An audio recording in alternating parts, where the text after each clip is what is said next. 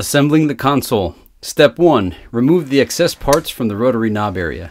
You will need upper part of console. Here's how. As shown below, separate the two plastic parts from the upper part of the console by twisting them back and forth. They are no longer needed. This makes room for the variable capacitor.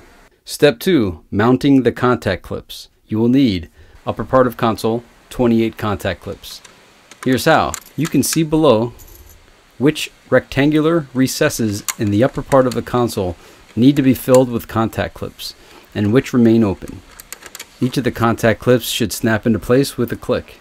Step 3. Mounting the variable capacitor. You will need upper part of console with contact clips, three screws from bag of small parts, variable capacitor, rotary knob for the variable capacitor.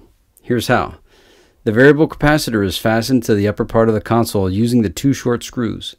Its terminal leads point backward, meaning toward the contact clips. Then, the rotary knob is stuck onto the axle of the variable capacitor, and the axis is carefully rotated until it stops.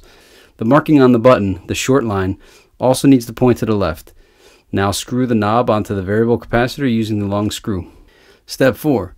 Connecting the variable capacitor. You will need upper part of console with rotary capacitor attached.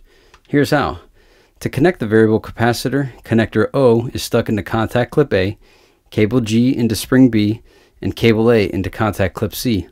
In order to keep the cables from coming loose, press them into the comb-shaped cable holders.